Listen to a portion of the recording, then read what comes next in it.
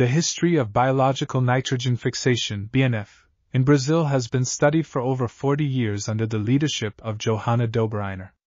Notable achievements include the discovery of various nitrogen fixing bacteria such as Rhizospheric, Beijerinckia fluminensis, and Azotobacter paspali, associative, Azospirillum lipoferum, A.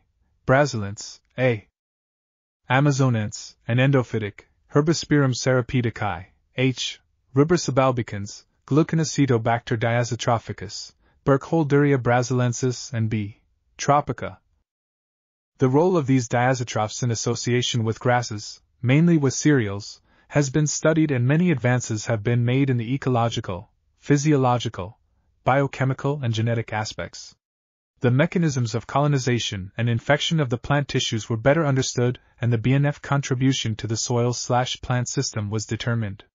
Inoculation studies with diazotrophs showed that endophytic bacteria have a much higher BNF.